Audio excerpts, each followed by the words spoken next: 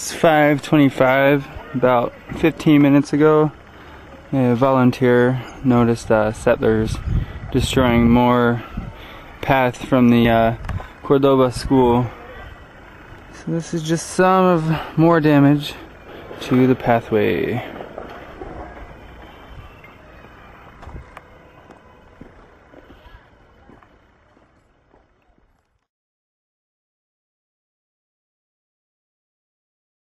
It's Wednesday, July 5th.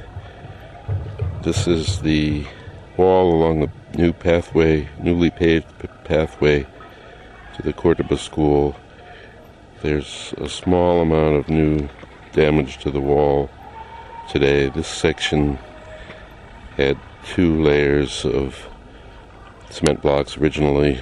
One layer is, was destroyed completely by the apparently by the settler children.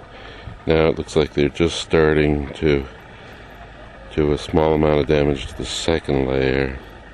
See the holes in the top of the blocks. And there's new rubble rubble from the new damage on the pathway. This pathway was just cleaned by the workers a few days ago.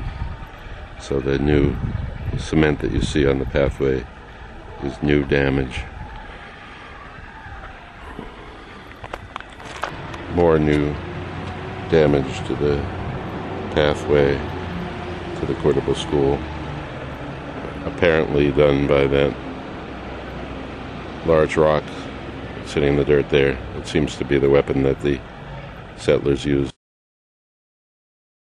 July 9th, 2006 appears there's been more destruction overnight since yesterday. There's new rubble on the on the bricked up path here.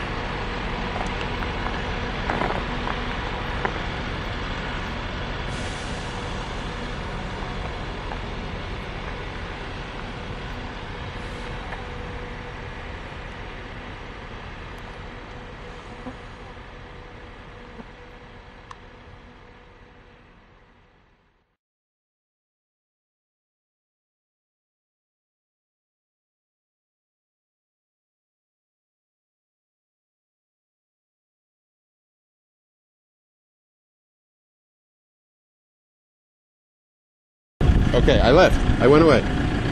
But what the, what they were doing is they're wrecking the stones. They're wrecking the bricks. If you if you, if you go look, you'll see.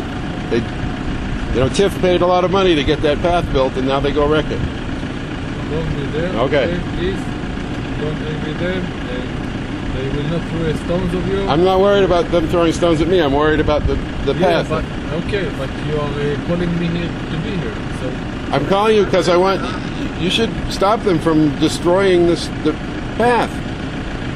I understand. Okay. So, Okay, we understand. You. I understand. You understand. Okay. Thank you. Thank you.